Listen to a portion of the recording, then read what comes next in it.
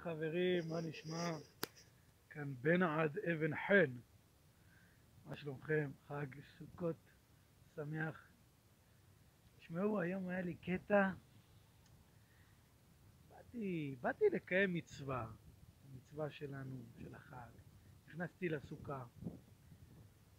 אה, הכנתי את ארבעת המינים והאתרוג, אה, שלושת ה... לולב, הדס והערבה.